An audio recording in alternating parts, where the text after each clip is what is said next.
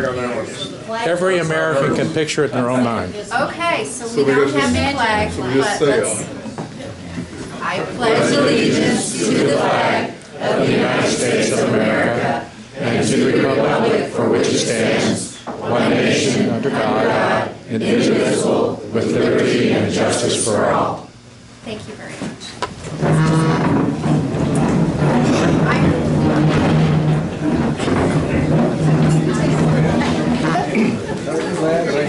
Good afternoon, everybody. If you don't, for those that don't know me, I am, I I And um, I am instead for um, Mark, who is, who is out of town. I can't tell if it's on.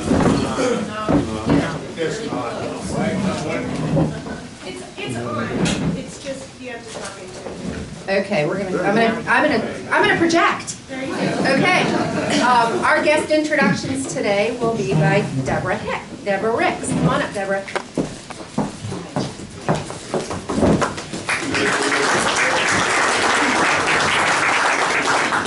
Thank you. I'd like to welcome all our guests. I hope you're enjoying uh, the fellowship. Um, Those that we'd like to welcome are Richard Brokey, Ross Freeman, and Robert Zidell.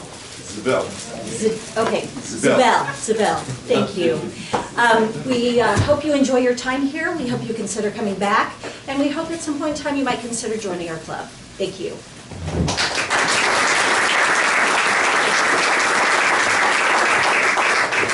Okay. All right, so then I also get to do the um, Rotary Minute. So I hope you guys have all enjoyed this beautiful weather outside. Isn't it fabulous that spring has finally sprung? Now, I would like to take you a little back in history about where we are, where we've come. So in uh, December, or December, in January, we experienced a unique weather system called the polar, um, can you guys tell me, what was that called? then? Okay, everyone that said vortex, would you please stand up? Okay. Oh, and remain standing, sorry. Stand up and remain standing. Okay, so then after that, we had Groundhog Day, and I can never remember, is it the second or the fourth? Can I ask? second? Okay, everyone that's a second, please help stand or continue to stand. Okay, so then we had that and that darn Groundhog Pete, which is not his name. What's his name? All right, please stand. Yeah. He came up and he said it was going to be early spring. Well, then spring sprang, and what day was spring this year? March sometime? Okay, all those that helped me with that, please stand up. Um, so early spring, but then ha-ha jokes on us because what did it do? It blizzard in April. Well, finally, we are here, and spring has finally sprung. These last couple weeks have been totally beautiful. So, as spring has sprung, it's a new beginning, uh, rebirth, and in that we celebrate new and different things. One of the things that I think we celebrate is ways we can be involved in Rotary. And if you look around, these are all the people, and some of them aren't standing, that helped me with my presentation. I encourage you, when Rotary sends out the call to help with service projects, to stand up for the service projects and get involved. Just think how much help I needed in this presentation and how you facilitated all of that. If you can do this with my presentation, just imagine what you can do out in the community.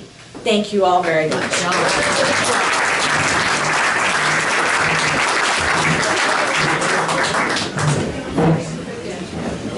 Thank you, Deborah. That was lovely. Oh, that was wonderful. Um, Yes, we are at the Dillon House, a place for history. And we are going to have a wonderful convention on the 25th and the, uh, 26th and the 27th. Um, So, so very excited about that. Um, First, I want to direct you to, uh, the April featured charity is the Jayhawk Area Boy Scout Council. Um, and this is for camp scholarships for the summer of 2019. Camp scholarships provide up to 50% of the cost of day camp or resident camp, so please give generously. Announcements. Um, we would like to, anybody who has received a Friend X, I would, we would love to hear if you had an opportunity to receive a, a Friend X. Anybody like to share? Okay, I will share. Um, I have received two, and one I received at the beginning of the week. Um, and it is a beautiful necklace. And if I was wearing something that showed off a necklace, I would have worn it today. But I believe that is because my friend X knew that this week is my birthday. And so I want to thank that person, whoever you are, because that brought joy to my life. And um, it made me just feel a little special this week. Um, and uh, it was just a great way to build fellowship. And so um, I will be celebrating my birthday tomorrow with my Rotarians when I go to the convention. Um, I'd also like to invite uh, Karen Hiller up to speak for a moment about a wonderful opportunity that the community is engaged in that really talks about our history in Topeka. Thank you, Marie. You should have small versions of this chart on your table. Um, This year is the 65th anniversary of the Brown versus Board of Education Supreme Court decision. It's the Brown versus the Topeka Board of Education decision, we might all recall. And that decision and all of the vision with it and the actions before and since, I would say, um, we would all agree reflects our heart, our heritage, and our future.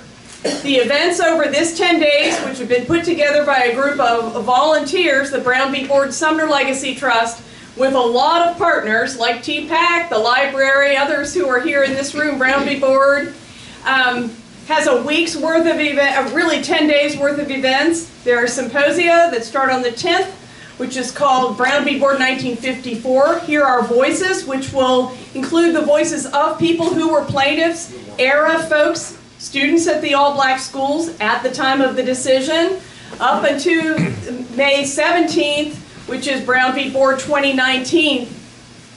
Real Talk Next Steps, which is intended to be a full community-wide conversation about where we are, how we've been doing over that 65 years, and what the what what success would look like if we were to engage in a community-wide initiative to move forward. That whole 10 days is laced with activities, a new theater program by Tyson Williams, a new dance program by Stephen Massey, oral history day at the library, an exhibit at, and a gallery talk at the Mulvane, bus tours for art and cultures via murals, as well as the history of the Brown v. Board case, sprinkled throughout the time, a, a um, debut, which you heard about, I think, a week or two ago, of Eugene Williams' new documentary. It will debut on Wednesday night at the Brown v. Board site, and then have its first airing on Thursday night on TV. Thursday is a film day at the Jayhawk Theater, five different civil rights films. The fifth of which will be BlacKkKlansman, Oscar award-winning BlacKkKlansman, and Kevin Willmott will be there afterward to give uh, a gallery talk. Um, so please look this over. Let me know if you want more copies. I have some more copies at the table. Uh, email me if you've got something you want to push out. You can find it online at www.bvb65.com. Visit Topeka set up a whole microsite for it, and also on Facebook under events. Thank you.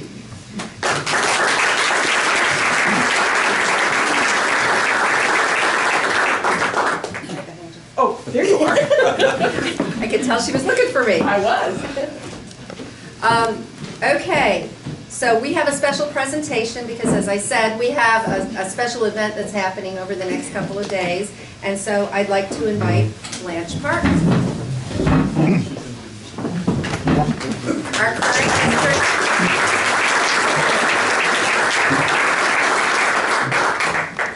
Good afternoon, everyone.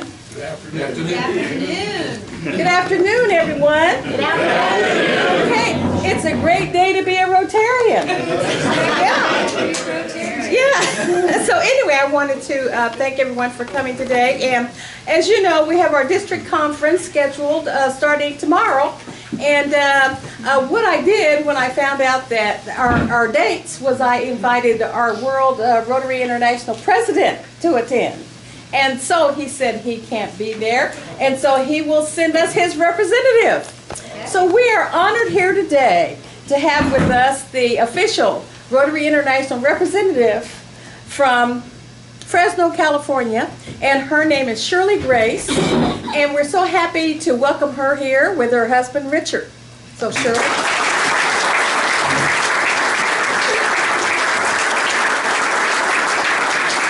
Thank you, Blanche. I have good news, I have bad news, and I have good news.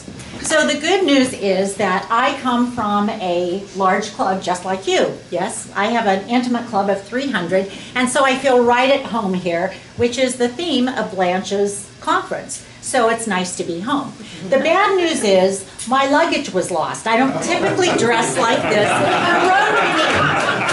But the good news is I was gifted this beautiful Kansas t-shirt yesterday, so I had something appropriate to wear. It reminds me of when I went to Zimbabwe about four years ago and we were delivering wheelchairs and it's kind of interesting when you go somewhere, they look at you and they say you're a past district governor and they expect you um, probably not to do so much. Uh, it's just kind of one of the expectations. Don't you find that, Larry? Yeah, it, I know. As a director, it's even worse, right? But you get there, and, and th- she kind of looked at me and she thought, oh, I wonder what I'm going to get out of this person. But the next morning, I'm getting dressed and ready to go to the wheelchair delivery, and what we're having is a handover there. And what we have is I'm supposed to speak in front of the government officials and all of the hospital officials, and there is no electricity. So what do you do as a Rotarian? You throw it in a ponytail and you go, and you just go forward with whatever it is. We went on from there that afternoon, and she looks at me and we, she says, we're going to the warehouse, we have to tag all these wheelchairs. A container of wheelchairs is 500 wheelchairs. So we walk into this storage facility, there are 500 wheelchairs there. She looks at me and she expects me to not want to do anything, and I said, Give me the tags. We start three hours later, we're finished with those. The next day, we start delivering over half of these wheelchairs, lifting the children into these wheelchairs, putting them together, adjusting them so they fit them specifically. About three o'clock in the afternoon, this wonderful stranger looks at me and she says, You haven't even stopped and you haven't eaten yet. I looked at her and I said, Neither have you, my new friend. And to this day, we're friends always. You know, I had a chance to look over the district uh, reports last night. And I know that you understand the business of Rotary and service above self. For me, it's all about the service. You are up two members, which is a lot for a large club. You're also in the top three for foundation giving. You're also in the top three for each Rotarian giving to the foundation every year. You're also in the top third for Polio Plus donations. Four years ago, when I was in and I went to my first polio immunization, I saw a gentleman wheeling across the street, and it's a motorized bicycle. His wife is walking in a beautiful pink, baby pink sari next to him. He has his little girl, who's about three years old, riding on this tricycle in front of him, and his six year old walking beside him. The six year old is too old for the polio immunization, but I'm able to give his little girl those drops that will prevent her from becoming crippled. The most wonderful thing about this was he was a polio survivor. You know, the greatest thing that you do is all of the projects that you do here in your local community and the communities abroad. The reason why I joined Rotary is because of people just like you, not only paving the way, but for the projects that you do in your community, because one of those touched my life. So I want to thank you. It's an honor and a privilege to be here with you, and I hope to be able to meet you individually at the district conference. Thank you for the honor and privilege of being here, and God bless your service.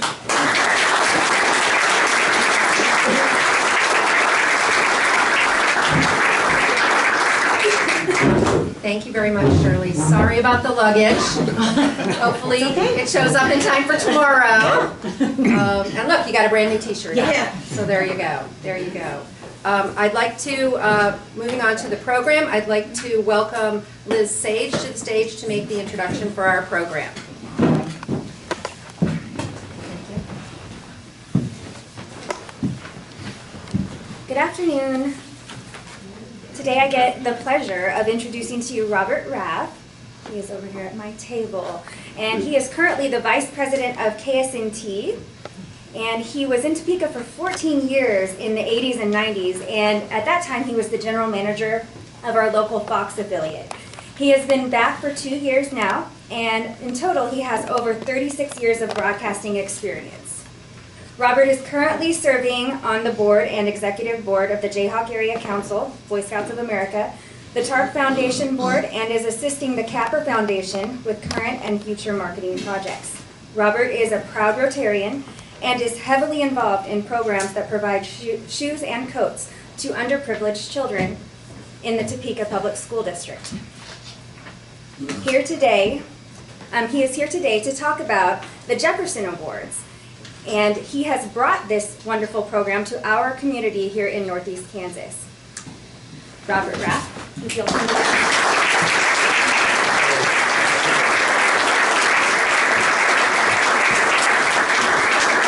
I just want to make sure, you know, that she has no idea who I am. She met me five minutes ago. Uh, She did a wonderful job in, in five minutes of speaking to to, to make something up. Um, Hopefully you know me. I've been a member for two years. The first time I spoke here, six uh, applications were thrown in my face before I left. Um, So I, so I signed one of them and and I joined. Um, Today I'm here to speak to you about a new program that we launched in the community. Um, When I first came to Kansas, uh, this time around, I, I was uh, greeted very, very early by uh, Matt Pivarnik from the Greater Topeka Partnership. Um, and he had laid out, because he was the newest kid on the block too, and he beat me by about six or eight months, and so he wanted to welcome me. And he laid out everything he was planning to do. Um, and then I basically laid out to him what I was planning to do for these stations. Um, and some of the things matched. Um, and that's really the spark of, of what, what's going on with this program. The Jefferson Awards is something we launched uh, on the 1st of March. Um, It's an awards program that is to recognize and celebrate uh, the good that people do in the community. Now, when it comes to service in the community, I'm kind of talking to the choir here, because that is Rotary's background. Um, but in a community this size and in the 17 counties that we cover, there are, there are literally hundreds of thousands of people that do good things in the community every day. Some are the leaders of nonprofits, some are the leaders that are always getting the accolades, but the vast majority are people who are working under the radar, the unsung heroes, and that's what this program is all about. Um, The Jefferson Awards is a national program. It's been going on for a number of years. Um, Just going to let the uh, experts introduce themselves uh, to, to the national program first, hopefully. If you think about 1972, right, the country was going through a constitutional crisis post-Nixon and Watergate, and it was a country that was busily tearing itself down. And the founding vision of the Jefferson Awards was to tell the very best stories of the very best Americans, both nationally and locally, and use that power of storytelling with scale to elevate the best of the country and to inspire those who are doing amazing things to think that they could do more and to multiply the impact that they could have. Our third ceremony had 60 people, and we had the privilege of doing it in the original Supreme Court, right under the dome in the Capitol. And the founding co-chairs were Jacqueline Kennedy Onassis and Senator Robert Taft Jr. The original board of selectors was a who's who of top Americans. Muhammad Ali, Hank Aaron, the ball player, Neil Simon, the uh, playwright, Jack Valenti, special assistant to Lyndon Johnson, Charlie Bartlett, who was a nationally syndicated columnist, and on and on went like that. People around the Bay Area that are making their mark on the community through service are being honored for their efforts. The Jefferson Award winners for 2016 got their medals tonight. Our media partners are amazing. It's local television stations, radio stations, and newspapers all across the country that reach 100 million Americans every year.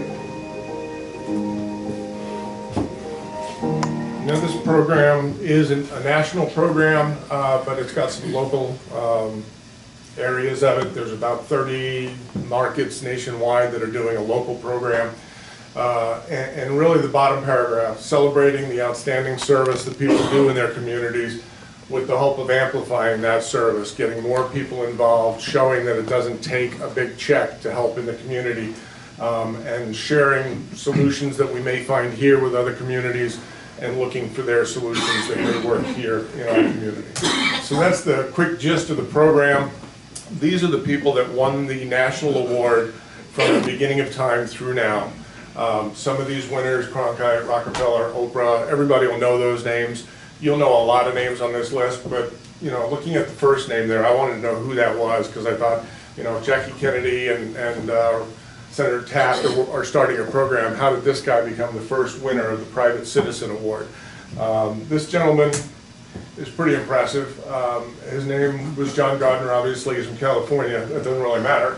What really matters is he worked for and ran the Carnegie Foundation um, for a number of years for the advancement of education. If you know anything about the Carnegie Foundation, they just pour tons of money into helping the, the, the communities out. He also became the Secretary of the Department of Health, Education, and Welfare under President Johnson. Um, One of the little programs that he helped launch is called Medicare. Some of you may have heard of it. Um, Essentially, there was no health uh, insurance or health availability for, um, for the elderly when they retired. They pretty much couldn't work anymore. They retired and then they died quickly because of that. Um, He didn't like what was going on under the Johnson administration with the uh, Vietnam War, so he quit, went back into the private sector, and he helped launch the Corporation for Public Broadcasting. Um, So his, his service is pretty, pretty recognizable.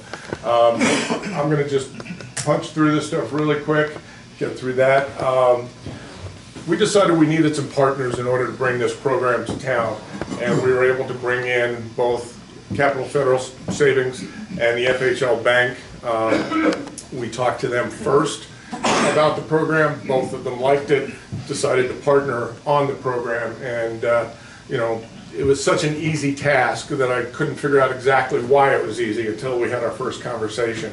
First conversation I had with John um, was on camera, as well as Mark Yardley from FHLB. Um, And we asked them both just one question to start. Usually it's an icebreaker, gets them talking about themselves a little bit, and then we get into the meat. But they both gave us the answer that we needed, or or that we thought was the best answer after one question. Um, So shortest interviews in, in record uh, history of time. And hopefully it'll work.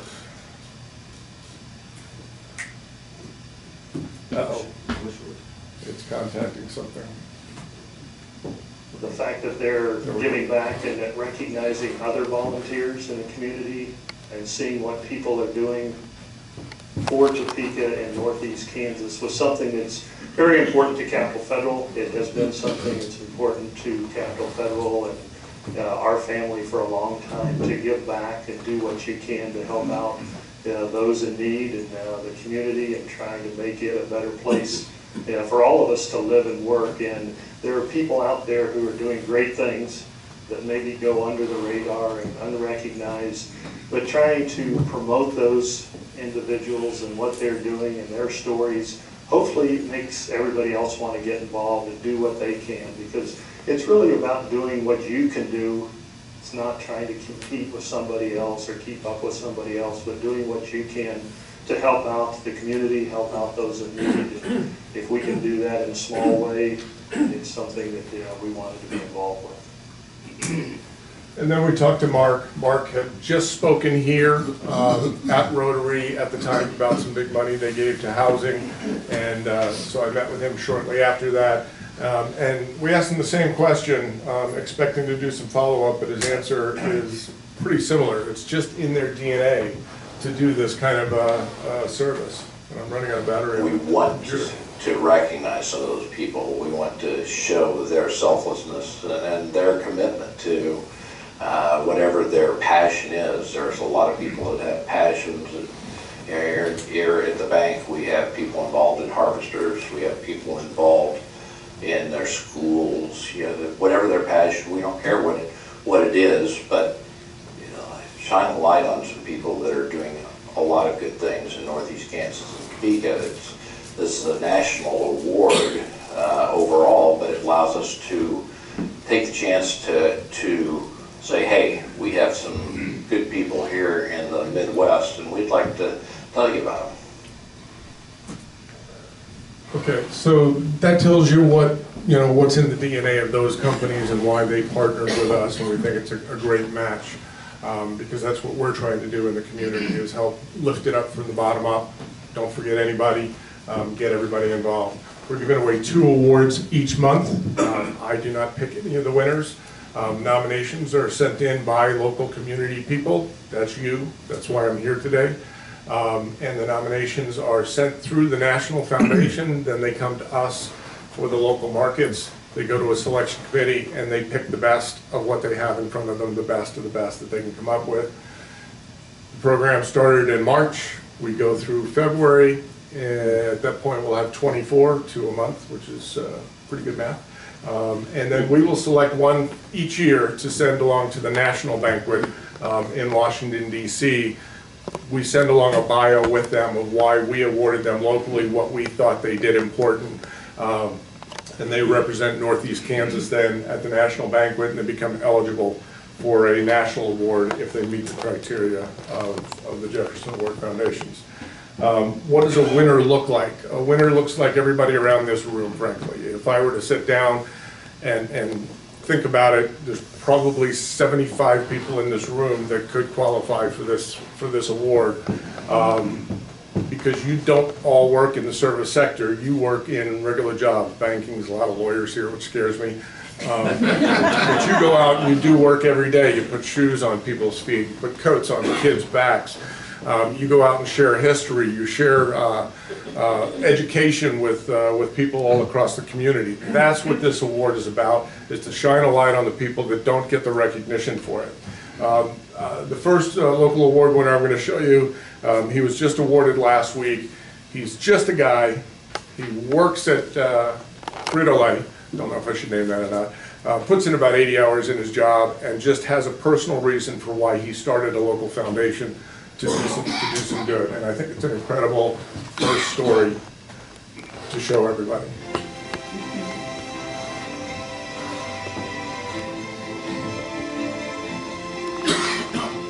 Well, our next Jefferson Award winner is changing lives one step at a time and one pair of shoes at a time. You're welcome.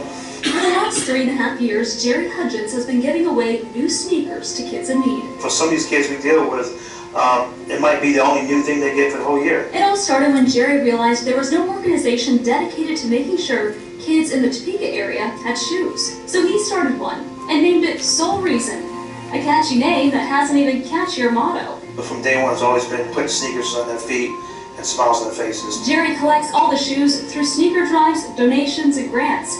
Since starting Sole Reason, Jerry estimates he's given away around 4,500 pairs of shoes. Giving them away at shoe drives, or to just hearing of a kid in need after getting a call from a school social worker like Tana Cornell. I've coined him my shoe guy. Um, so whenever I see a kid that looks like they're in need of shoes, um, I will call the family, make sure it's okay that we, we help them out, and then give Jerry a call um, and put in a request for some shoes. He's fantastic. Their organization's phenomenal. Within 24 to 48 hours, he's always here with a brand new pair of shoes. Given that this isn't even Jerry's job, just something he does in his spare time, when he's not working nearly 80 hours a week at a factory, or helping take care of his three kids, I had to know what pushes him. After I pushed him enough, he finally cracked. My, my kid's involved in a serious accident a few years back. And, and I made a promise to God that if he healed my son and made him better, then I'll dedicate the rest of my life helping these kids with shoes. And that's what, that's pretty much what I do in a nutshell. And it's a promise he's kept 4,500 times now, and counting. What an incredible guy. Yeah, keeping his commitment to God, that's a big commitment to keep. Mm-hmm. And you know, when we first started talking about this stuff, I, I said, Jerry, there's got to be a big reason here. I mean, you give up so much time to do this. And he kept saying, it's just the right thing, it's just the right thing. And then he finally said that ending part. I said, Jerry, that's a story everyone needs to hear. And to learn more about how you, So that's an example of what we think are, are, are good quality Jefferson Award winners locally. Um, it's hard to argue with that story, um, touching the heart for most people. This is sort of the sample judging criteria that the committee um, goes through. Committee is chaired by uh, uh, Tammy Dishman, who runs the Cap Fed Foundation, and she's got about seven people that go through all these nominations. They scale them on a rubric. Um, it's very scientific.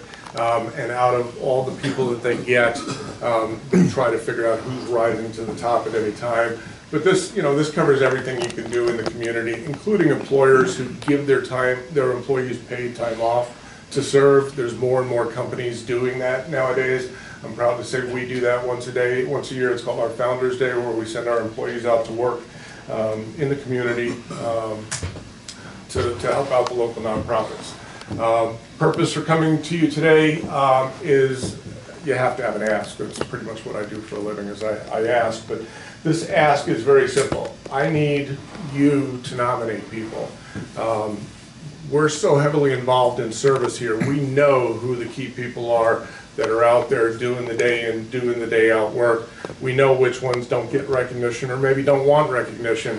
Um, but we know who's involved and we need your help to, to make this uh, successful. Um, As I said before, we have two awards. We try to focus one on the Topeka area, we try to focus the other one on the northeast, um, northeast, north central Kansas area because that's our actual coverage area for the station.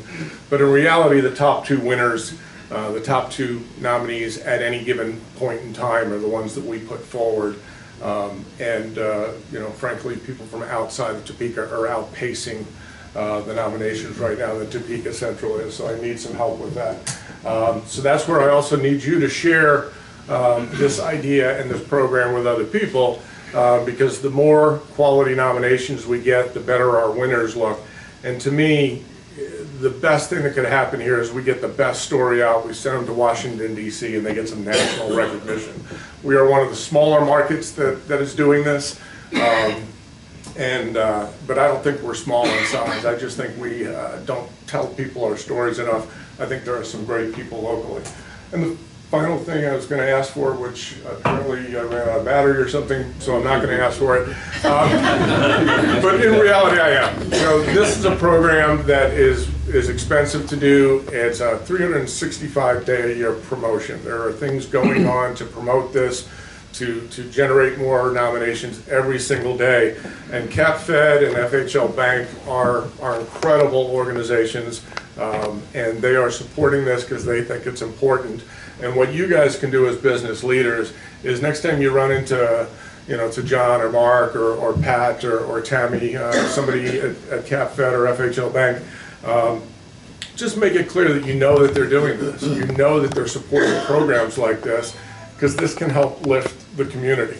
Um, and the other slide that I was going to show you, which isn't there, um, was going to tell talk about the expansion of this. Now, if we can continue this program on, we started with just the private citizen awards. Okay, there's another category for elected officials, appointed officials, VIPs, CEOs, because they also, rather than, you know, a lot of them give checks, but a lot of them get down and dirty. They'll, they'll work and serve on the food lines at, at the kitchens and things along those lines. So there's a category for, for all of those. There's an under 35 category because the average person doesn't get involved in a lot of community service till they're 40 or more, probably because your kids go away and you actually find either some extra time or some extra money. Um, but if you can get kids, teenagers started in community service, they're more apt to continue doing it for the rest of their life. So those are all additional awards that are given away on a national level. We'd like to add them to the, to the program here, um, but we're just launching with, uh, with the two service awards for local citizens right now. And uh, because I know sometimes we go over, I'm going to just end it quick, say thank you very much for your time, and be more than happy to answer any questions if you have them. And If you don't, I'm more than happy to sit down.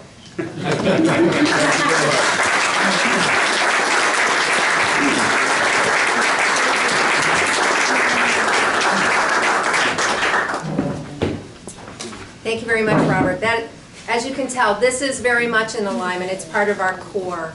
It's part of what matters to us as Rotarians. So thank you. That's that was a wonderful presentation, and it's wonderful to be able to see everyday people making a difference in the community.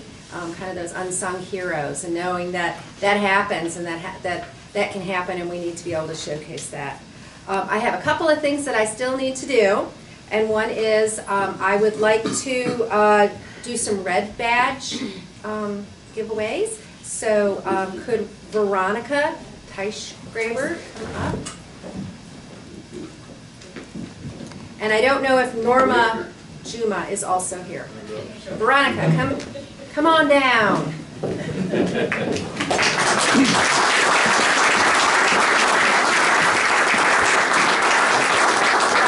has earned her Janet Badge, and we are so happy that you are joining us. She is a political strategist, uh, philosoph- philosophy of, this is a lot, philosophy of politics journalist, a consultant, and philanthropist.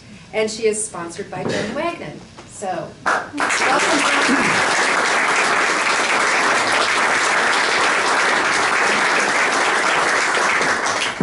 Has Norma joined us yet? No. Okay. We will have some more uh, at our next meeting, but we are very excited to be growing our club, growing um, the numbers, and um, having more community people want to join us um, on our journey of Rotary. Um, So, I am so pleased that you are here, Shirley, representing um, International and coming to our awesome convention and having, and hopefully having a wonderful time. We have, we have brought you the spring weather.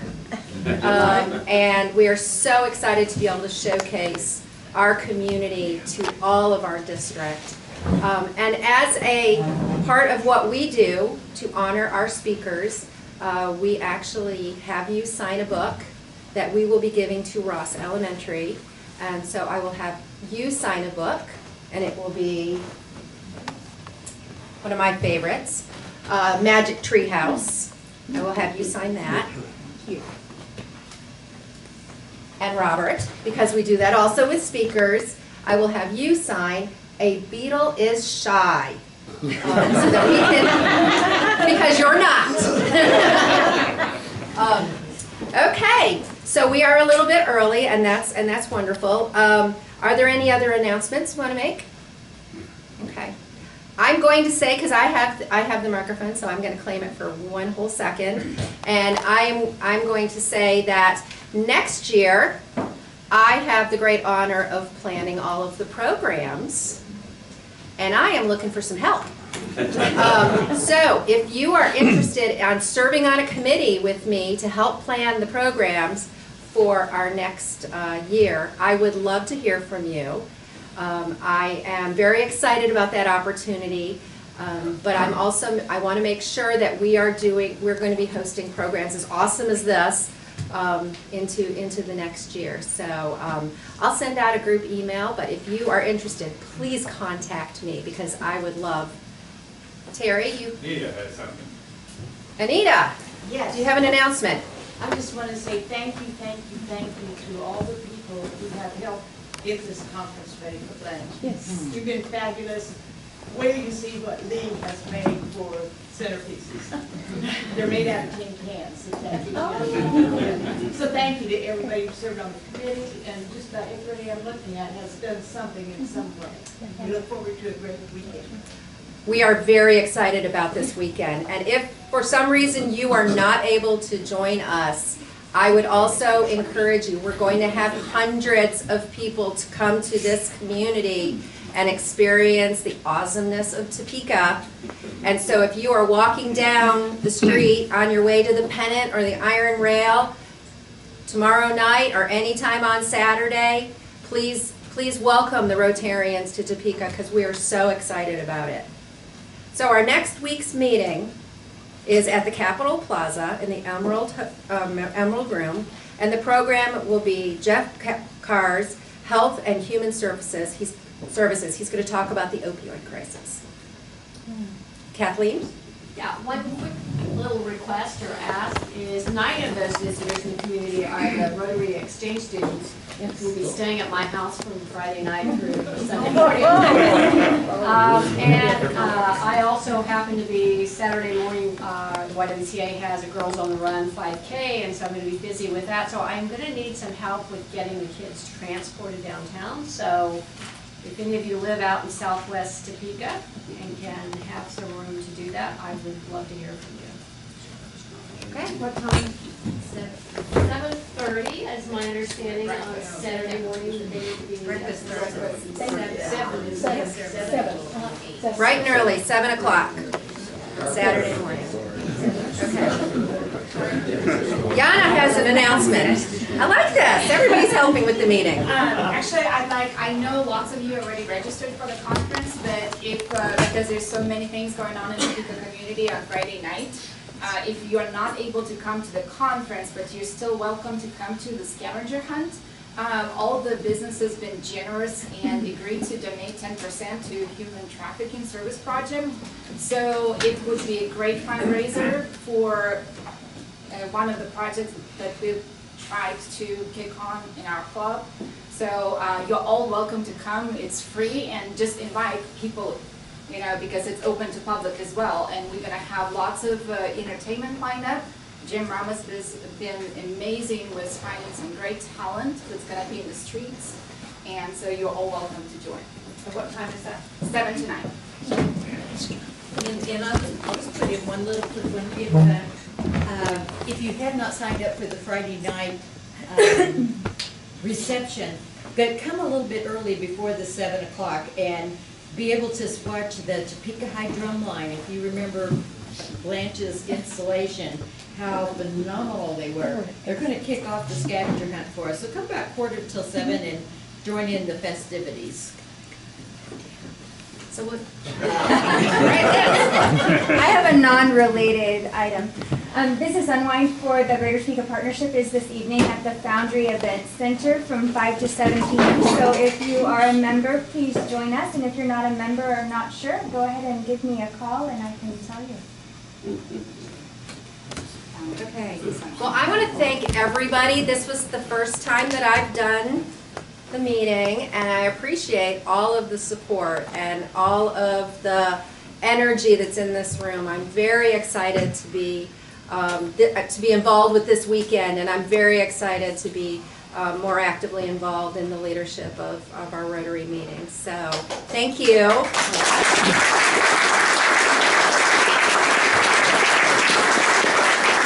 So let's all stand for the four-way test. Plus one. Things say and do. Is it the truth? Will it good will. concern, and it will be.